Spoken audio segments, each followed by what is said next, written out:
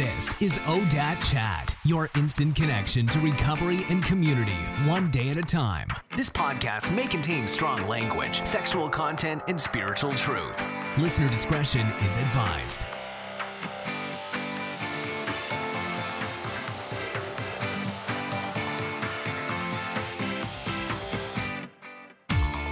Welcome to ODAT Chat. My name is Arlena, and I'll be your host.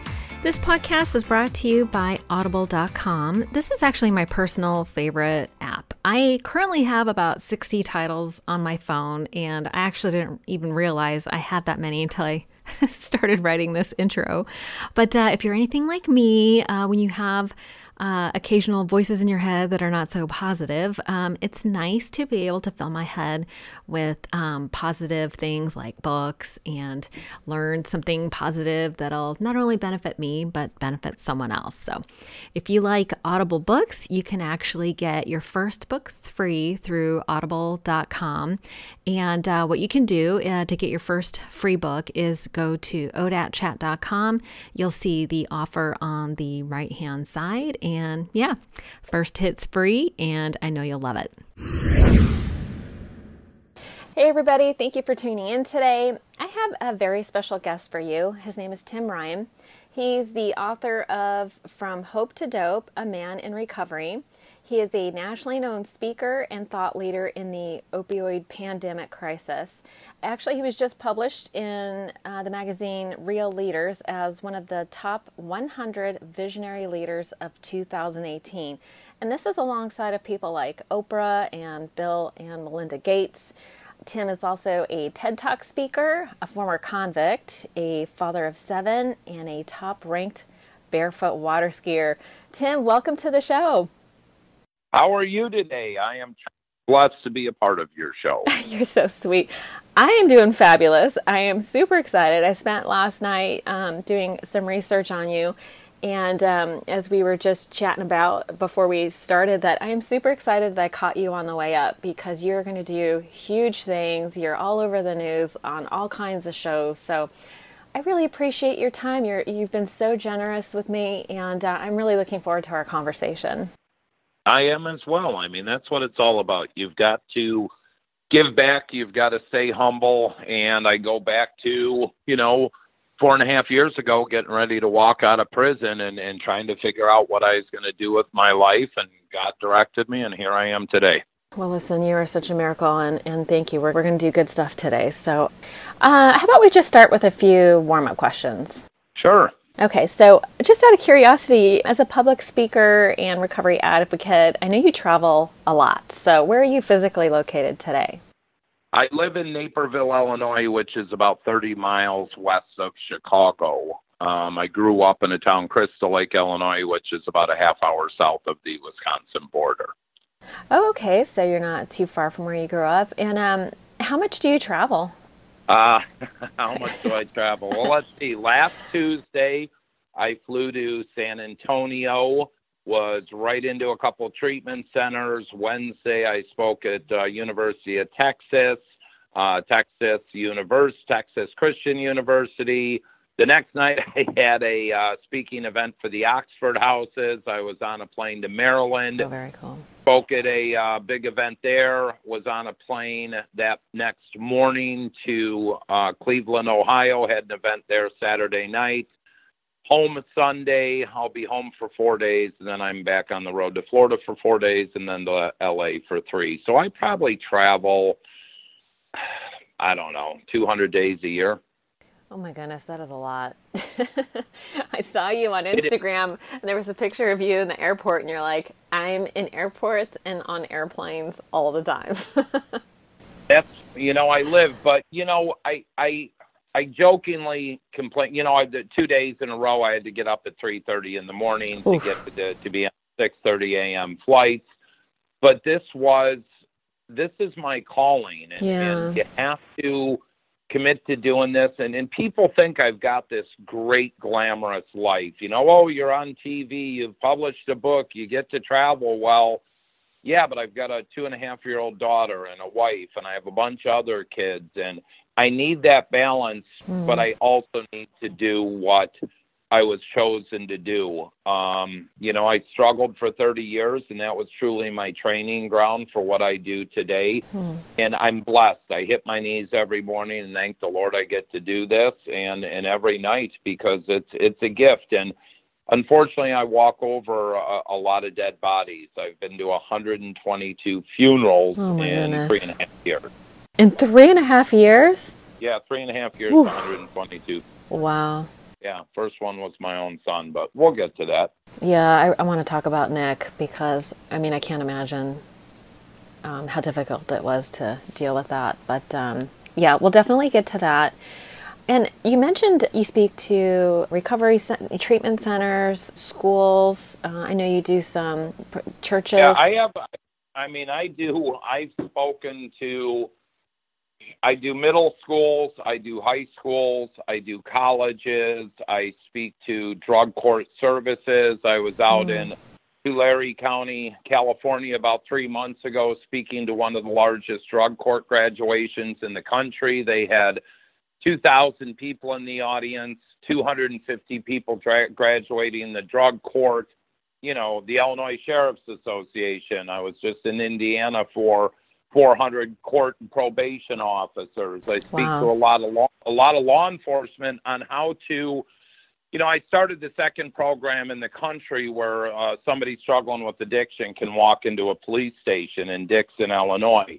In two and a half years, they put almost 300 people into treatment, and it spun off. And we can't arrest our way out of this problem, and it's having to not only educate on Narcan, on how to work with people struggling with substance abuse. And, and nobody grows up and says, hey, you know what? I want to be a drug addict. I want to be an alcoholic. I want to be a heroin addict.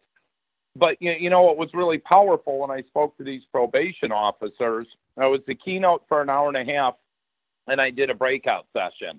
380 of the 400 people came to my breakout session. Wow. And a lot of them said, Tim, you, you really gave me a new perspective because I go into work and I see the same people in the system and it's how do we work with this and how do we quit putting people in the same local treatment center and expecting them to come out to the same town and stay sober. We're setting people up to fail. So let's look at getting them out of state into a four to six to 12 month program and, and the judge can let them do that. And yeah, I mean it's crazy. I do another program called The Cop and the Convict. I, I was going to ask you about that. Yeah, that's a great presentation. So I, it, it's really interesting. Detective Wasaki, who retired from the Naperville Police Department, he's now partnering up with me. About three and a half years ago, he had a program called Dare to Know, Dare to Know what your kids are up to. And Rich is a cyber crimes expert, SWAT sniper, and he edu- he goes after sexual predators. Well, the kids today are doing everything through their cell phones, and if you get into their technology, you know what they're up to. Just go look at their Instagram, their Snapchat, and we give away cell phone monitoring software where you can mirror your loved one's cell phone, computer software, how to drug test, why to drug test. And a lot of parents don't know what to do. So we do this presentation. We walk through the software. I share my story but then we offer the resources too. You know, I do four different things. My full time job, I'm national director for Transformations Treatment Center out of Delray Beach, Florida. We've been around 10 years. They have Christian based, 12 step based, first responders, veterans programs, 18 to 30, 30 and up, gender specific, phenomenal trauma therapists. But unfortunately, we only take good insurance or cash pay. Then I run Man in Recovery Foundation, which is a not for profit to where I guide and direct people into treatment, a lot of indigent that don't have resources. So I'm connected all over the country on where we can get people in. If it's a thousand dollar fee and we have the funds, we'll pay it. Um, I, I just wow. sent a check today for, for two young ladies that are getting into a sober home, so we'll pay for them to get get in there. Um, obviously, I speak all over the country. And then I'm an advisor to a company called rehab.com, which is the only transparent portal where someone can find treatment that is not owned by a treatment center. Oh, that's awesome. Yeah. Yeah. So I'm in the thick of this stuff. Yeah, you are. And then I run support groups and you know, I do all sorts of other things, but uh, I, I I love what I get to do today. It's a it's a blessing that I'm able to do this. And the crazy thing is, you get arrows shot at you. Oh, you don't have any credentials. What do you know? well, no, I technically don't have any credentials, but I have 30 years as a drug addict, as a very successful business entrepreneur. Um, I've been to the depths of hell. I've lost everything. I turned my life around by applying the principles of a 12 step based program in my life. I've assisted over 3,000 people into treatment. I've done 1,500 interventions. I've had six people not go to treatment. So I've applied a lot of my recruiting skills into what I do today when I meet with someone. I just talk, I share. And unfortunately, I have a story that most people I wouldn't ever wish on and I take my experience, strength, and hope, and and you know, hopefully get them in. My job is just to get people in, and when they get out of treatment, whatever that looks like, to guide and direct them into recovery, whatever that looks like for them, whether they want a maintenance program, they want Christian based, 12 step based, refuge recovery, smart recovery, see therapists, work out, do yoga, do what works for you. Right. Um, just because I attend a 12 step based program, it doesn't work for everybody. So do what works for you, and I'll I'll love you and I'll support you. And if you fall, I'll pick you up. That that's if, the unfortunately, essence if, of it. If, if, you die, I'll show up at your funeral. Yeah. You know, it's, that's the reality. Yeah, I was going to ask, and thank you for sharing that. I mean, there's, I'm going to list. So just so you know, and the listeners know, when I publish this episode, I'm going to go ahead and put a list of all the resources that you mentioned. You're going to cover a lot of ground here today. So I just want to be sure to let everyone know that we're going to put all this in one central place so that they can reference back to it. So, um, because you're sharing a ton of good stuff. And you know what? People who are criticizing you, I mean, them. because. Absolutely. Um, yeah, I don't. At first, I used to take it personal, and it's like, look, I, I had some father. Well, you didn't help my daughter after my t- my TV show, my documentary aired on A and E in July. We had two thousand phone calls in about ten days, and I had Wow. six people at my house.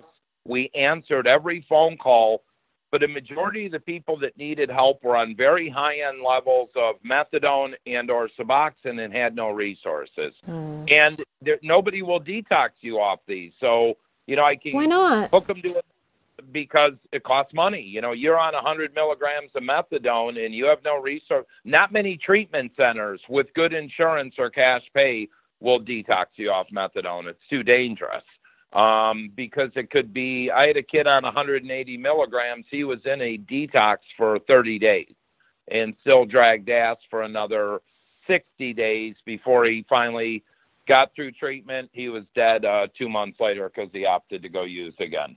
Oh my God! So when so when they're on that, the Suboxone, um, that's a I, I'm not I'm sorry I'm not that educated on it. So Suboxone's like a replacement for heroin. So, so Suboxone is what they call the opiate agonist. It it's a partial opiate, but it has naloxone in it, where it takes away the cravings, but it's still an opiate, and it can be very successful if someone is working with the right doctor and or psychiatrist or seeing a therapist and they're they're living a life of recovery. But a lot of people, all right, well I'm not doing opiates anymore, but they're abusing cocaine, benzodiazepines, ecstasy, alcohol. You're just trading one for the other. But a lot of people lose their insurance or state insurance, and it's very expensive. And if they're on eight milligrams, you can't just detox off it. You have to be weaned down properly, and people get stuck on it then. And the same with methadone. Most methadone clinics, you go every day, you pay your hundred bucks a week, you get on a hundred milligrams. Try kicking that. That's going to take you months to kick, and it, it's it's most people end up going back to heroin or or to pills because it doesn't work. So at the risk of going down a rabbit hole, which is which is fine, I'm just curious what in an ideal situation if someone's on heroin and I'm not saying, you know, we're not trying to pretend like we're doctors or anything like that here. I'm just I just don't know I'm trying to educate myself as well as uh, the listeners. What is the best way to get off heroin?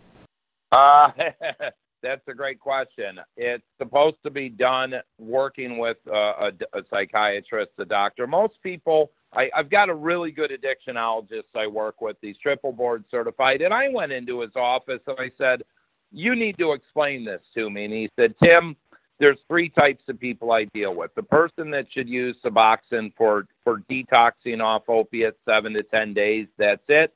There's a person I will not prescribe it to because they will abuse it. Mm-hmm. But then there's the people that really want to get off it that are on it 12 to 24 months. And then they'll transition to Vivitrol, which is a, a monthly shot. But actually, with uh, Suboxone now, they're coming up with a monthly injection because – you're taking an addict, and if they got the the film strips or the pills, they sell them. So wow. it, it's a big it, it's a big dance. You know what I mean? Right. What a mess. It's a tough uh, problem to solve, to say the least. Right. All right. Well, listen. Let's let's circle back to the the type of speaking engagements you do. So you, you speak to recovery centers and in different groups. Do you have a favorite type of venue that you like to speak to?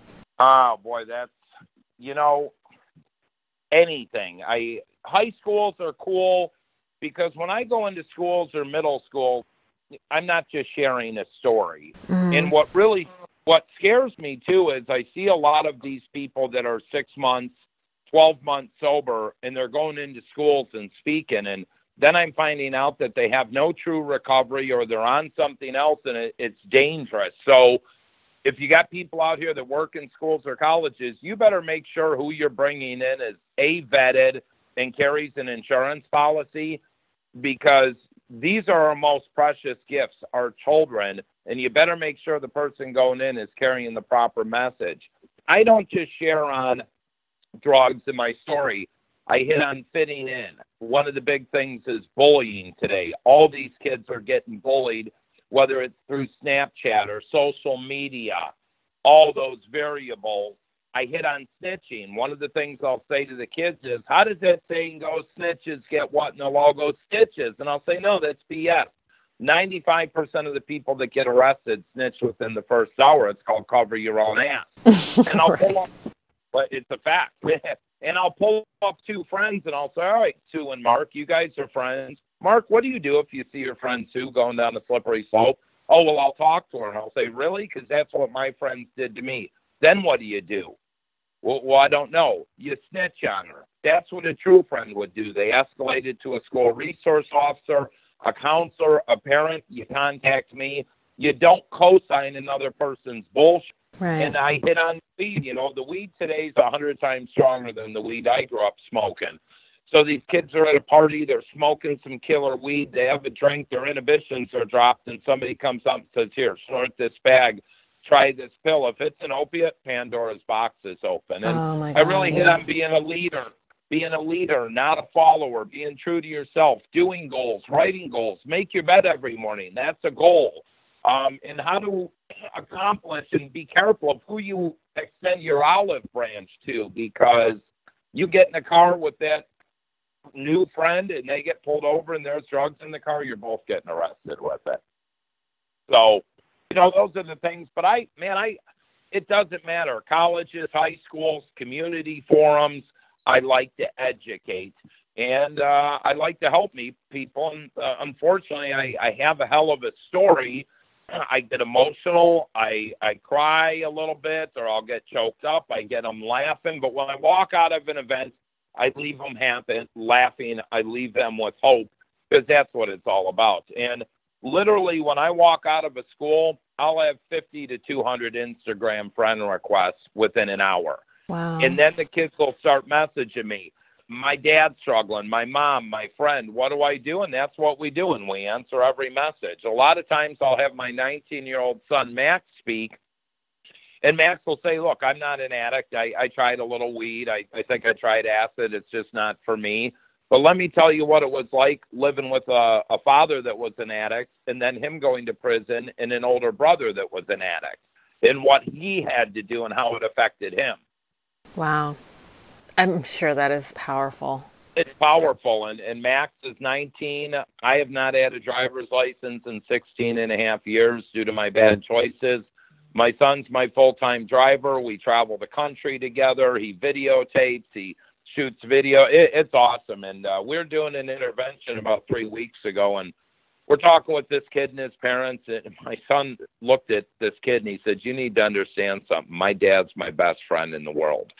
And it just hit me with a ton of bricks. And when we left, I said, "Max, did you mean what you said?"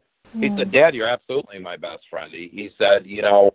I had a lot of anger and resentment, but I couldn't live in it. I had to move forward, and and you showed me that you're doing the right things, and I'm so proud of you. Oh my God, it, it tears me up right now just thinking of it. I know. So. I'm sitting here bawling. Um, yeah. that's so beautiful. I have two boys, one who's almost 18 and one who's 14. And you know, as a parent, you you really want that that bond with your child, and you you want to be living a life that they can be proud of. And you know, you guys have just been to hell and back, and and uh, what a beautiful what a beautiful testimony that is that you guys are so close now, and just you know, doing God's work and and really educating the masses and and maybe that's a good segue. I was going to ask you, you know, the work you're doing is largely educating and ending the stigma, right? And uh, addiction is so right. widespread. You would think everyone knows at least one person who is struggling. And I myself am, am indoctrinated in recovery, and sometimes I forget how much judgment there is towards people um, who are struggling with addiction. Why do you think there is still so much stigma and shame in mainstream society about people that are struggling with addiction? Because people are uneducated. People have this misconception. Thank you, Max. My son just brought me a, a Starbucks coffee. That's um, a good kid right there. You know, people have this misconception when they when you say heroin addict or drug addict or alcoholic they instantly go to the homeless person on the corner with the brown paper bag and a needle in their arm. That still, still, you think what, that's the image? It just shocks That's what me. society is breeded, you know, and that's that's five percent of the people. You know, the average heroin addict today is a 22 year old white middle class female and a 23 year old white middle class male. Wow. That's your average heroin addict today. The number one cocaine users are Hispanics and, and African Americans. But everybody, due to the stigma, you should have the willpower. Just stop. Right. I, I, I was doing I was doing an intervention in Winnetka, Illinois. I am at a house on Lake Michigan that's worth fifteen to twenty million dollars. The family is personally worth I don't know five to six billion dollars, and I'm I'm talking with the grandparents about their grandson. And the lady looks at me and says, My grandson is not an addict. He has a character defect. Our family does not breed those people. And oh I said, Your God. Yeah. And this is what I deal with. I said, Your grandson spent a $100,000 on your Black American Express in three months buying quarter pounds of cocaine off the dark web. You can buy cocaine with a credit card? You can buy anything you want off the dark web. Anything that's where a lot of kids are buying drugs today. They don't need to buy them from a drug dealer. You can buy them right off the internet, have that them is... shipped to your house with the U.S. mail. Wow, that is so crazy. Yeah, but bottom line was she she kept arguing with me that uh, their family doesn't breed those kinds of people, and I said uh, your your your grandson's an addict. He's an alcoholic. He's got a DUI. He's doing steroids. He's doing ecstasy. He's doing Xanax, and he's doing cocaine. And she just would have none of it. And where is he now? In Hazelden Treatment Center. So, wow, the denial is strong. It is, and everyone wants to. You know, I don't care if you're a you're a good family and you go to church on Sunday. So what? Yeah, it's not a moral issue. It's not a moral failing. Nobody chooses. They made some bad choices, but that's where parents need to get involved. I see so many parents that I'll send their their kids or their husband or wife or whatever to treatment, but they're not getting any help. They won't come down for the family weekend. They're not going to Al Anon or Families Anonymous or the support groups I I run. And if they're not getting any help, that person will come back to a jaded, toxic environment, and you're setting people up to fail. Absolutely. But people can still recover though if the family doesn't participate, right? Absolutely, 100% you know, I recommend people if they're going to treatment, especially these younger kids, they need to go into a long term structured, very structured sober living community for six to 12 months minimum and, and get your life on track and, and learn to be sober. Because I see so many people, they'll go to treatment, they'll go to meetings, whatever they are, and they'll go to work or get a girlfriend or a boyfriend and they they quit going to meetings and don't put recovery first and they end up using again and if it's opiates they're probably going to die the most important thing in my life is my relationship with God and my recovery. That comes before my wife, my former wife, my kids, my career, anything. Recovery is number one. Without it, I'm dead in the water. I still go to four meetings a week. I have a sponsor. I always sponsor at least one person. That's just the way I roll. Everything else I do is my career. That's not my recovery. I agree. Yeah.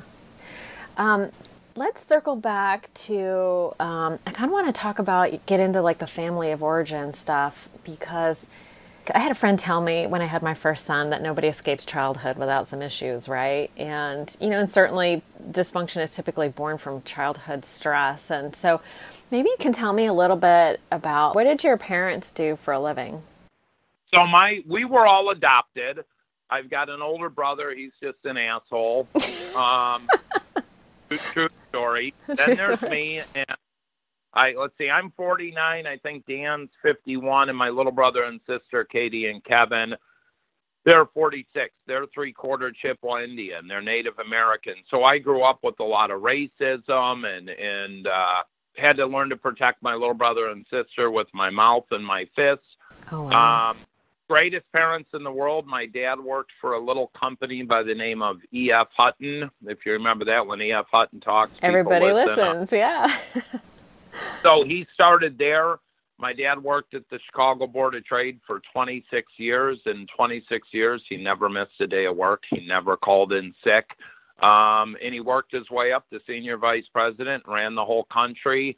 My mom and a helped co-found a company by the name of Market Day, which became a multi-billion dollar uh, nonprofit through the schools nationwide where they would have market day sales and 10% of the profits went to the school and it blew through the roof. And, you know, we, when we were poor, we went on uh, a vacation was throw the canoe on the van and a tent in the back and go up to Wisconsin and canoe down the river and camp out for a day. And as they made more money, we got to go to Florida and Colorado and Hawaii. And you know my dad my grandfather was not born until 1880 he didn't have my father i think till he was 64 years old and Whoa. remarried. So my dad yeah my dad only went on two vacations with his father and family was very important. So we always went on two vacations a year. My parents were at every sporting event greatest parents in the world i was the kid though that struggled with ADD, dyslexia, learning disabilities. My older brother beat me up every day, total narcissist. Um, a female babysitter molested me at 12 years old, and those are all factors of trauma. Right. So, what became my, my solution? Alcohol and drugs. There it is. Yeah, I mean, I recently heard a podcast from Tim Ferriss, and he interviewed Dr. Gabor Mate, and he was talking about. Like, I love that man. Isn't he amazing? In the realm of the hungry ghosts, read it. I saw Gabor Mate speak in Chicago about a year ago, and maybe I don't know. There was 300 clinicians. I was probably one of 10 people that wasn't, and and he talked about that. And he asked how many people here are adopted, and he said, "You do you realize you're 48,000 times more susceptible to be an alcoholic or drug addict due to the abandonment issues and wow. everything that guy said what was dead on. He said, throw this disease and choices crap out the window. It all has to do with pain." Yeah. And, and I, I highly recommend people go to YouTube and watch Gabor Mate's videos on addiction. They're friggin' powerful. Absolutely. I just, I had never heard of him before. Um, I actually went to a, a workshop and somebody had mentioned his name and I wrote it down on my, in the notes on my phone. And then a week later, he was on the Tim Ferriss podcast talking about addiction. And I was blown away. And it was interesting because I've been doing the podcast for not that long, but I've been in recovery for over 23 years. And when I work with girls, it always boils down to childhood trauma, you know, things that happened in childhood. And then there's this pain and stress that we feel and we don't have any coping skills, right? Like when you and I are you and I are the same age and when we're growing up, we weren't taught any kind of coping skills like our parents didn't know. We didn't have hell, I can remember the sex talk. Are you having sex? Don't get a girl pregnant, wear rubbers. That was it. That was it. No. when when I grew up, it was, you know, nobody was getting DUI. Hell, at my high school graduation, my dad had a case of Heineken. We lived on a lake. We the only thing I excelled at was water skiing. So we're when we were done training, we were drinking beer, and you know, I I hid my cocaine use, and you know, it, it was just a different time. But we also would ride our bikes 15 miles to a friend's house and be home at you know when the when the street light came on. And right. People don't do any of these things, and technology has taken these kids worlds over.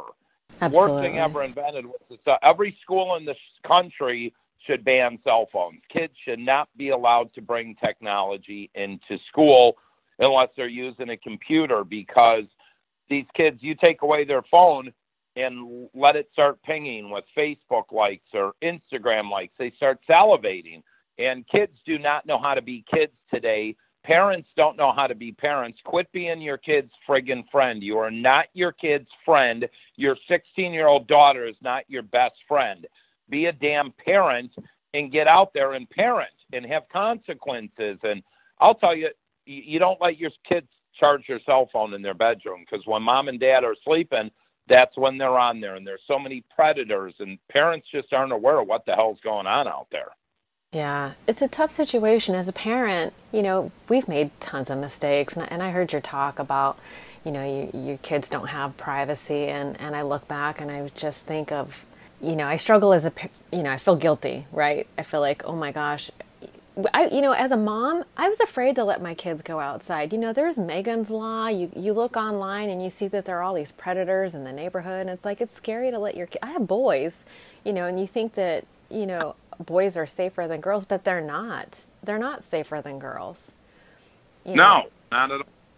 So what did I do? I either hovered, or I let them be online with a certain amount of like if they're playing video games like not online games with other kids which i just felt like they were safer but it was maybe it was a lazy choice. I don't know. I just didn't know what like this world is just not safe any way you look at it and well i tell you and i have my 19 year old son max sitting here now and he he will concur. The worst thing we did was buy his little brother a computer the computer raised tanner and unfortunately i i, I wasn't a, a good parent. You know with my other kids especially nick my son that passed away i was nick's friend.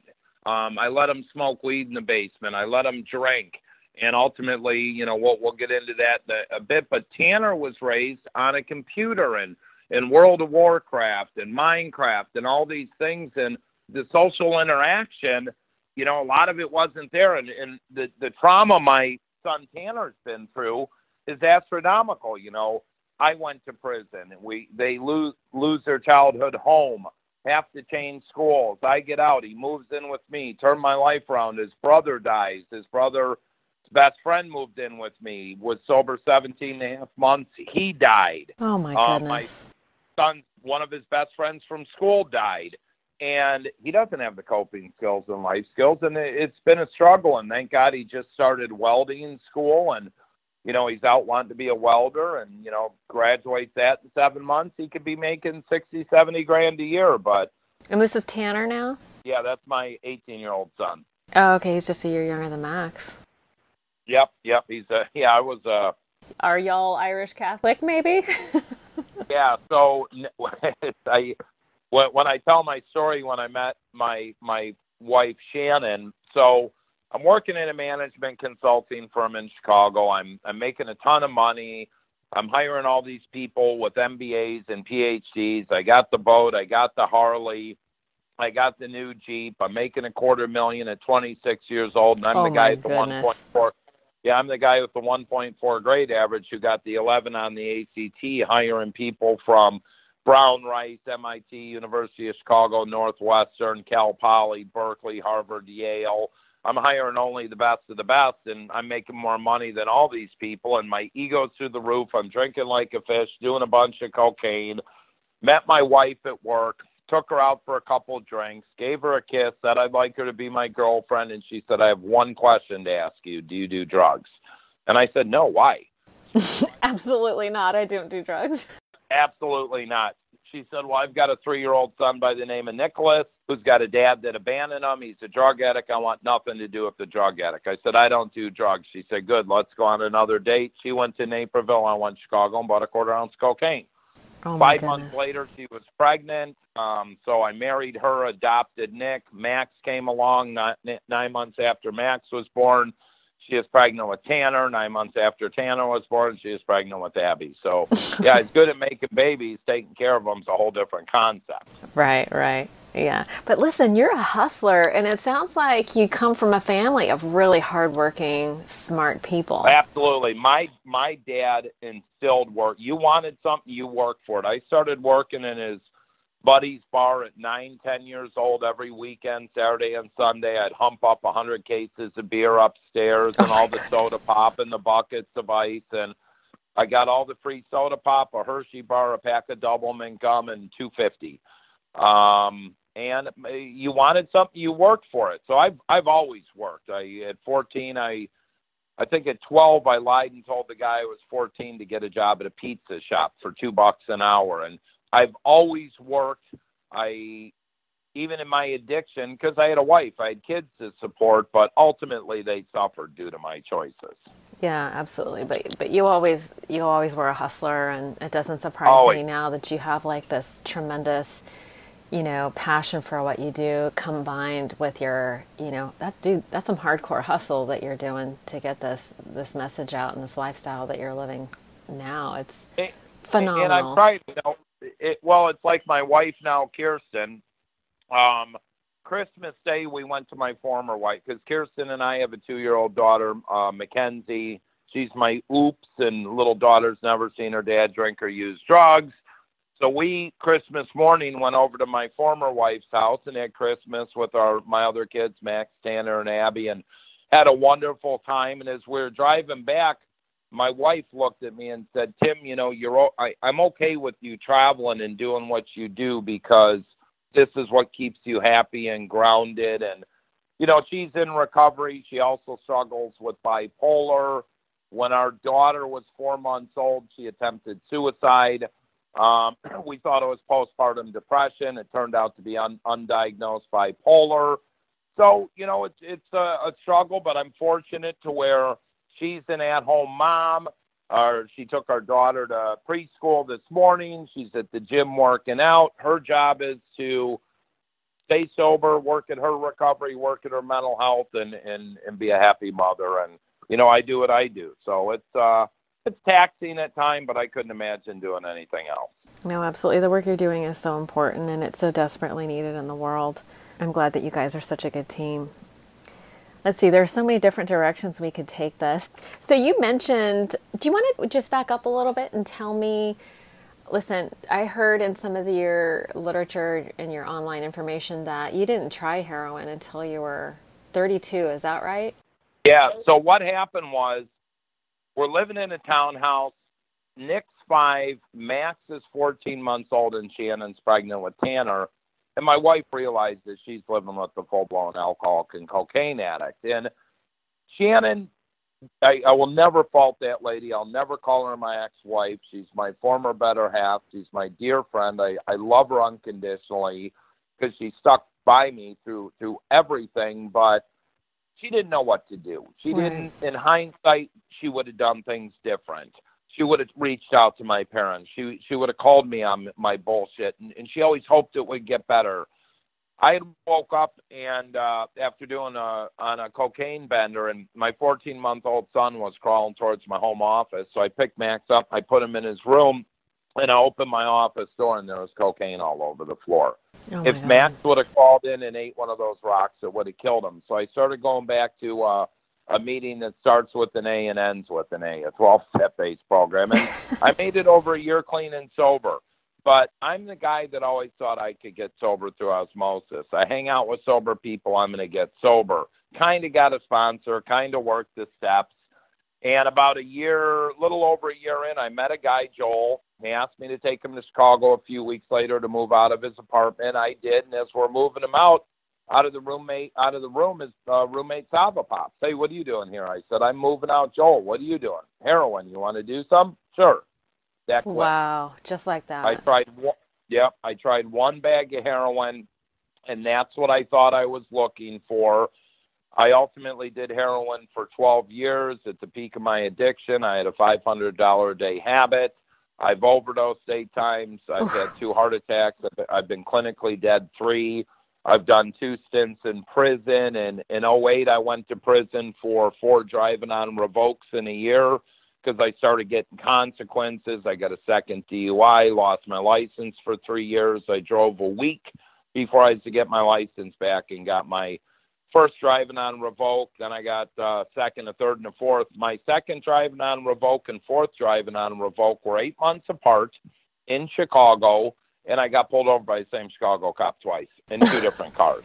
Oh yeah, so I, I went I went to prison in 08 and uh let's see here they gave me a year, but what I what do you do at 61 days and they release you? But I'll remember I I'll never forget being in uh Stateville Correctional Center where they hold you to they figure out what prison they're going to send you to and my daughter Abby turned 6 to 7 and I couldn't call her and my son Max turned 10 to 11 and I couldn't call him and I swore I'd never do this again. I got out my wife sat me down and said she got a full ride scholarship to nursing school and I said, You don't need to work. I make plenty of money. And she said, Tim, the way you're living, you're going to end up in two places. You're going to end up dead or back in prison.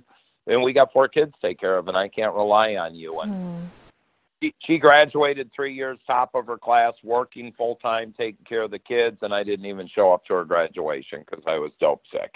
Oh. Um, yeah, I, I started another executive search firm, had a good run, made a bunch of money, had an office in the Wrigley building on Michigan Avenue, and went right back to drinking and doing dope. And then December 16th of 2010, I overdosed while driving, hit two cars, and put four people in the hospital, one being a nine month old baby. Oh, my um, God. Oh, wow. Yeah. Narcan had to be used on me five times. I was clinically dead. What is? I'm sorry. What does clinic? What does clinically dead mean? Like I was dead. No, no heartbeat, no nothing. I was deader than a doornail. And how did they resuscitate you? They just pump you full of. So, so Nar- Narcan reverses the effects of an opiate overdose. So when when you go into an opiate overdose, the opiates bind to your brain receptors, and it slows down your breathing and your heartbeat, oh. and you oh. stop breathing and you die. But when they when they injected the Narcan, it took them four or five shots they got a pulse and they mainlined it and and you come back it, it knocks the opiates off the brain receptors and you start breathing again wow that is um, so crazy they, they, they, yeah they thought i was uh not coming back the paramedic did it once twice three times he told the battalion chief to call the coroner this one was dead and for some reason he did a shot under my tongue where there's a lot of blood vessels and fortunately, it brought me back. But I, I got oh out of jail God. a week later and went went right back to doing heroin. You know, you're you're unconscious for all this, right? So you never know how bad it was. I mean, I've seen. No. I've had friends who have kids that are struggling with heroin, and you know, the kids OD and they're in the hospital, and it's like the scene at the hospital is so dramatic. It's so intense, and the things, the emotions, and the roller coaster that the parents go through, it's freaking torture. And the kids come out of it and they're like, see ya, peace out, and they leave because they're completely oblivious as to what just happened. And everybody is left, you know, like gobsmacked. It's like, how can you. Well, so what I what I'm trying to do, and you bring up a great point. I, I was just talking with the chief of police yesterday, and he said we had a another overdose. And as soon as we revived them, the, the kid said, I'm not going to the hospital and took off, went used, and died a few hours later. Oh, my God. Um, I would like to see a law put into place to where if someone is revived by Narcan, they're put on an immediate psychiatric hold for a minimum of three to five days. Yeah. If that drug was it's not administered, they would be dead. Why are we? Why are we letting? Then they take them to the hospital they revive them, they sit for three hours, and they walk right out the door. Hold on, if if this person wasn't revived, they would be dead, and we're letting them walk right out of the hospital. Put them on a three to five day psychiatric hold. That will give people time to come in, peer recovery support specialists, the treatment centers, whatever, to try and convince this person into getting help. I'd like to take it a step further and have them remanded to treatment on the spot or put them into jail for six months. It is total insanity, though, that we do revive people and then just turn them loose.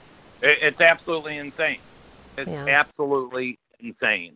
But you know, the system's fried and taking taking addicts and and locking them in jail. I mean, that's that's insane. You know, if and I hate to use this analogy, but if somebody's got cancer and and you put them in jail for two years and release them, do you think they're cured of cancer? No. So if you take someone struggling with substance abuse and lock them up and release them, do you think they're cured? No. We're creatures of habit. Within 30 days, they will go back to using because that's what addicts do. They got no treatment, they got no support.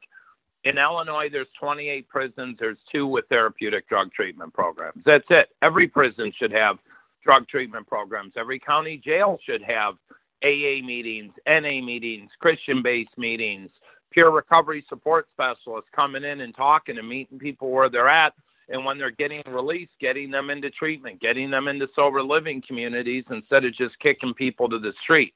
We've got more damn money out there. I mean, look at Jeff Bezos. The amount of money that man makes, if he donated 10% of his salary, everybody in the country could get treatment. It's not a lack of money that's the problem. It, the money is out there, and there's people who have lost people that they love. Uh, the question becomes, and listen, we can talk about the problem all day long, but let's shift gears a little bit and talk about the solution. And, and certainly, you've covered a lot of you know options. But what really is, you know, and I want to go back to what um, Dr. Gabor Mate was talking about. You know, it's about addressing those childhood traumas and and I know you've done a lot of personal work on yourself to address the childhood trauma that you endured and 12 steps um, you know saved my life as well and I've, I've done a lot of my work and maybe you can talk to me a little bit about what was the solution for you so that, that that's a great question so when I went to prison the second time, let me kind of finish my my journey. Here. Sure, please do. Yeah. So I, I catch this case. I know I'm going back to prison. I hire the best lawyer. I said, let's beat this bitch. They never got blood or urine. That's my thinking. He said, Tim, we're not beating this. It's your third DUI, your fifth driving on revoke. You put people in the hospital. They found the spoon and syringe. You're getting charged with that. So I wanted to die, but I didn't want to hurt myself. So I justified in my head, well, if I just overdose, that'll be cool versus putting a gun in my mouth in the midst of fighting my case about three months in, now all my family knows I'm this heroin addict and I'm taking a hot bath because I'm dope sick. And my 17 year old son, Nick, comes in the bathroom and he said, What's wrong, Pops? I said, What do you think, you idiot? I'm dope sick. He said, Not anymore, Dad. Today's your lucky day. And he threw two bags of heroin on the counter. Oh, my so God. I got out of the bath. Yeah, I got out of the tub and I did them, and I felt it good instantly. And I went next room and I said, "What in the hell are you doing?" He said, "Don't worry, Dad. I'm just selling a little bit." I said, "Nick, this isn't weed, this is heroin, and you know what this drug has done to me. And my son looked right at me. He said, Well, Dad, you're a successful drug addict. And I said, Why would you say that? And he said, Well, we've got a nice house. You got an office in the Wrigley building. You make a good living. Seeing Nick's delusional mind because I functioned, he thought I was successful. Mm. Three months later, we were doing heroin together. Oh, my God. And that's how I bonded with my son. He started doing it on his own, but he followed in my footsteps. And I went to prison, left our house in foreclosure, didn't leave my wife and kids with anything. I was sentenced to seven years. Um, I got in in the prison cell two weeks in after defecating and vomiting myself for two weeks straight. I looked up. I said, "All right, God, I'm done. Please take away this obsession and compulsion to use, and I swear I will turn my and life over to you. And please let me get into Sheridan Prison." And the next day, I was shipped to Sheridan Prison, which is one of the two therapeutic drug communities in Illinois. They run the West Care Drug Treatment Program. Actually, two weeks ago, I was in that prison for four days speaking to all 1,700 inmates. So, wow. there, my cellmate was a former gang chief for 25 years. And all we did was study the big book, the NA Basic Text, the Bible, we read hundreds of books on spiritual spirituality, cosmic healing, karmic energy, mm-hmm. business books, Tony Robbins, Napoleon Hill, you name it, I read it. I wrote the business plan for my foundation, a Man in Recovery Foundation, in that prison cell. My wife divorced me in prison. We lost our home in foreclosure. I displaced my wife and four kids. My oldest son, Nick, was in active addiction. My worst fear was Nick was going to die while I was in prison. I walked out of prison.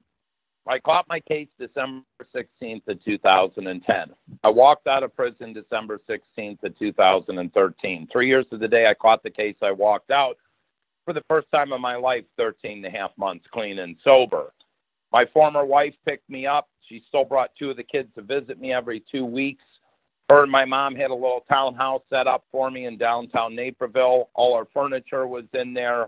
Nick, Max, Tanner, and Abby came over for dinner that night. We all had Portillo's, Italian beefs, and hot dogs, and that's the last time I was together with my former wife and four kids as a family. I set up my foundation, started support groups, started working in the treatment space, and then on my 21 month sobriety date, my son died from an overdose. Oh, God, and I had so two awful. choices to go to a meeting or go get high. I didn't have a thought to use. As soon as Shannon and I got to that ER and said, Tim and Shannon Ryan here to see our son Nick, he overdosed. And 30 seconds later, that chaplain walked out. I, I knew my son was dead. Oh my And God. I, I asked I'll ask people what was my next thought. Most people say you wanted to get high. No, my next thought was I'll be at a meeting. But I had to go and identify Nick. Don't Oh, tell Shannon, God. yes, yes, he's dead. And I'll never forget that scream. And then taking my former wife in there and, uh, you know, looking over our dead son. And I will be the first one to say I helped kill my own son Oh, and I have to live with that the rest of my life. I am responsible for killing my child, and I have two choices. I can I can live in that negativity, or I can take that negative and turn it into a positive, and and that's what I'm doing today. In the emergency room, Shannon said, "I hate God, f God. He didn't answer my prayers." And I looked at her and I said, "Shannon, what I'm going to say is going to sting." but listen to me. I said, maybe God did answer our prayers. It's just not the answer we're looking for. And two weeks later, Shannon and I had lunch, and she looked me right in the eyes and she said, Tim Ryan, for once in my life, I'm behind you a thousand percent. She said, I want you to run your foundation. I want you to help people. I want no parent going through what I went through. Heroin took you, my husband, our beautiful home, and my firstborn son. She said, I thought about what you said in the emergency room. She said, I truly believe God had you go through all your struggles, put Nick and I in your life, had had Nick go through his for Nick to pass on to set the stage for what you're going to do next. And I'm just getting started. Yeah, you So- are. Yeah. Yeah, so so I got out. I met a friend of mine, Suzette Papadakis, who's who's one of the top clinicians I've ever met. She's a trauma therapist. She's one of my best friends. We opened a treatment center together, but she really helped me work through a lot of my issues. We talk daily. She guides and directs me. From a clinical standpoint, as a friend, she'll call me on my bullshit and I've surrounded myself with people I can learn from. It's as simple as that, you know. Yeah. You you you are a product of the five people you associate with, and I only hang out with people I'm going to learn from that can better me. And I've cut all toxic people out of my life. Yeah, you have to. You do, though, surround yourself with people that, like, you're reaching a hand back. You're not only surrounding yourself with people that you can learn from, but I mean, it's so crystal clear that you're reaching a hand out to help so many people. Right, and and that's all I can do. You know, that's all I can do. Yeah, Um, it's my mission. yeah. I'm so grateful for your ability to, you know, to use that for the positive because it's so, it would have been so easy for you to go the other way. Eh, well, the easy thing would have do would would have went to go get high. Oh, poor me, poor me. No, I had to own my actions, and I had to start bettering myself and and do the next right things for my former wife, for my three children, for my new wife, for our daughter, for my three stepchildren, for my parents to do the next right thing. But that's where I had to own it, and I had to move forward and do the next right thing. And that's why I say when I speak and everything, I have a very unique story. And you get a lot of people that lost a child and, and they want to speak. And I've seen a lot of these people and they just get up there and cry and it's it's deadly. And you know, it's people grieve different ways, and I see two things happen: parents that lose children, they either go into a, a, a guilt and a, a, a desperation and never get out of it, or they get involved in the solution. And those are the two things that happen. That's all. The, you got two choices, and I had to make a choice to do the next right thing. Right. Absolutely. Yeah. And so and you are 12 step oriented and you did talk about your your weekly habits and and your prayer and meditation and, and all that. Did you always have a concept of God? You, were you raised with religion? So yeah, I, am a recovering Catholic. Uh, okay. And when I say that, you know, we went to church, we went to CCD, but for me, when I grew up in the Catholic faith, it was a crazy religion because I could go to confession, Father, I sinned. I, I broke out Mrs. Mary's house windows. Okay, give me five Our Fathers, five Hail Marys, everything will be fine. But if you sin, you're going to hell or you're going to rot in purgatory. My God was a fearful God. I was afraid of God. Mm-hmm. And to me, God is G-O-D was a gift of, of desperation. I was desperate enough to put my hand up and say, my way doesn't work because I like to play God and me playing God doesn't work. I always break out. I break out teeth, I break out windows, and I break out in a nice silver silver pair of handcuffs. And I try to live God's will and my son Nick's will to the best of my ability. And I don't know what God is. I don't know what a higher power is, but I know there's something out there. And when I believe in that faith and that hope in that direction, the things have changed and, and I see the miracles happen. I don't blame God for for my son dying. I blame drugs, alcohol, the disease of addiction. My yeah. son had been to treatment six times. Nick knew what to do. He chose to get high, and, and when my son died, he was with his girlfriend and two other friends. He had snorted two bags of heroin, and it, this kid gave him a bar of Xanax. And about a half hour later, they knew Nick was overdosed, and, and they didn't do a thing. Really? They put him on the sofa, went in the basement, did more drugs, forgot about him, came up an hour later, and he was dead. They drove around with his dead body for two hours, afraid to go to the hospital. When we got to the hospital, the detective took me in back to meet the three kids, tell them Nick was dead, and he pulled me aside. He said, Do you want me to charge him with drug induced homicide? I said, Absolutely not. He said, Well, what do you want? He looked at me dumbfounded. I said, I want to get these kids into treatment and get them some help I said that could have been me using with my son, but I one of the things I talk about is the Good Samaritan law. Kids, every high school in Illinois and where they have this law, none of the schools are talking about this. None of them. And I, I get pissed at the superintendent. Kids are going to go to parties, and God forbid if someone's overdosing from alcohol or drugs, they can pick up the phone and call 911, and the police will come and the paramedics and hopefully save the person and take the drugs and leave and nobody gets arrested. Why are we not educating our children about this? Do you think they're afraid it's endorsing?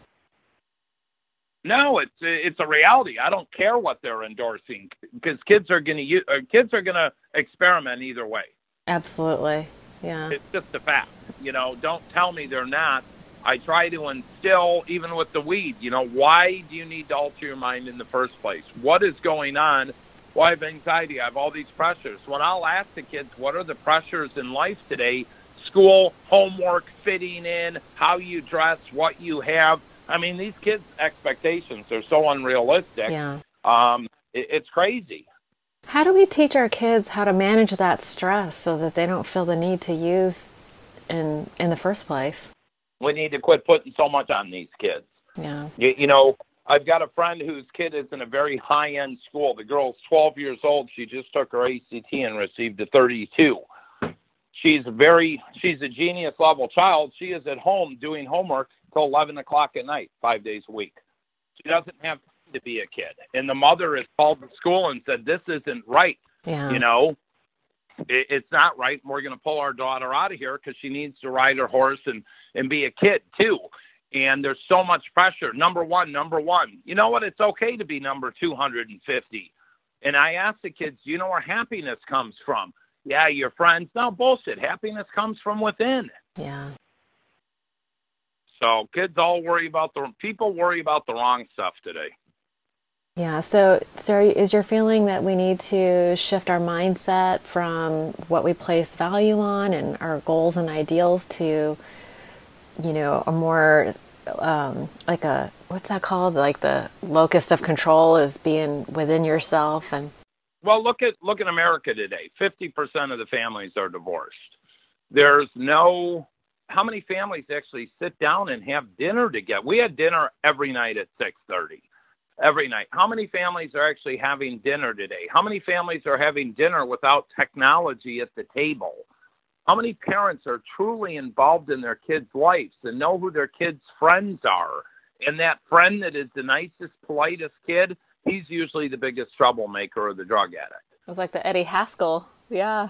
Yep. So, I mean, we need to take things aback. Eh, you know, you look at the the football and that we got to be number one. No, you don't. And, and let every kid play. It's not just the best players. I can remember playing baseball growing up. Every kid played every game the same amount of time.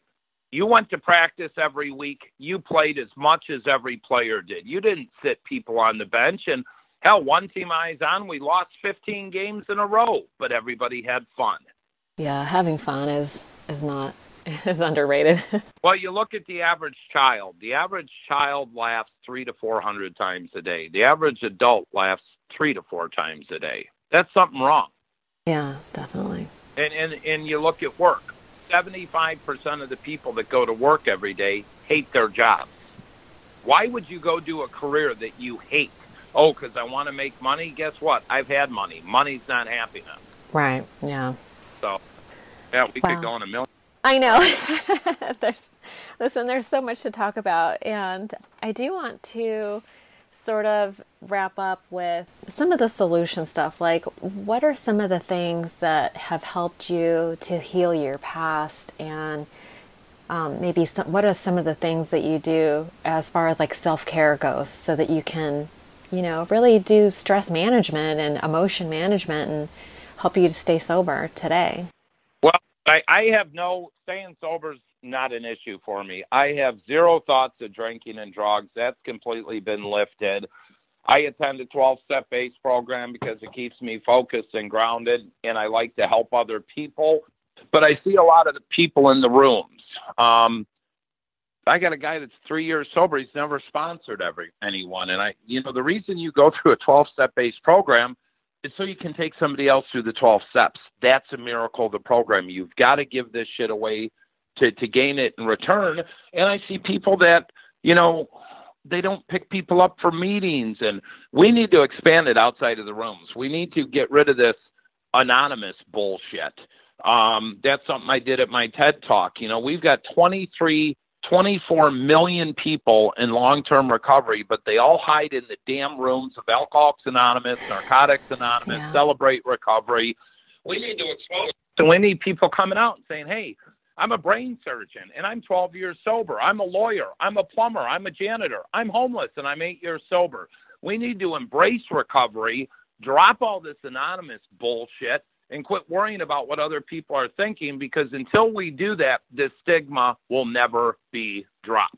I couldn't agree more. And listen, it, I was that was actually going to be one of my questions for you is how do you feel about anonymity? Because you know, in the twelve step rooms, it's you know they call it the the foundation of their you know their principles. And you know for me it's a problem because my one of my goals is to end the stigma of addiction and we can't do it if we're hiding behind anonymity. I think there's a, a place for having privacy and being able to go through your stuff in a safe private way. But it kind of drives me crazy that the people that i'm so proud of that are in recovery they're keeping it a secret and they don't realize yeah it, it's silly. And, you know, I was doing a very high end TV interview in New York. And afterwards, the person interviewed me and said, Hey, keep doing what you're doing. I'm 12 years sober. I'm like, Do people know? He's like, Everybody knows. But, you know, in you, you don't walk into a mall and, Hey, it's John from AA. How are you, John? But if people want to come out, they should, and they should be proud. I've had many people oh, I can't let my boss know I'm going to lose your job. I said, look, everybody today knows someone that's struggling with addiction and and be proud to be sober. But what happens is you get people and then they fall and oh well, the 12 step programs didn't work. No, the person quit going to meetings and, and took their own will back. You know, but everybody wants to point the finger and blame. Let's quit blaming. Let's look at more solutions. Yeah. You know, when I was down in San Antonio, I went to this place called the Haven. They spent a hundred million dollars. Uh, a philanthropist put up thirty million. He raised another seventy. They have a treatment program there where you moms can live with their children. The school bus picks them up. They have dental. They have doctor. They have everything there. Homeless people can come in, even if they're drinking. They've got a thing set up outside with mats under the shelter where they can stay and, and sleep. And we need more peer driven centers out there. We need, you know, everybody can't afford good insurance and, and high end treatment is still needed. You have different clientele but what about all the people without insurance and these peer driven recovery centers where they're getting people through the steps are working? Anybody I ask that says I relapsed, they never work the steps. They never help somebody else. Well, of course it didn't work. I had a event I was going to do a few years ago, and the family said, Well, we want you to speak and come, but you can't talk about a 12 step based program. I said, What are you talking about? Well, that's what killed my brother. Oh my God. The 12 step. I, I said, no, your brother no.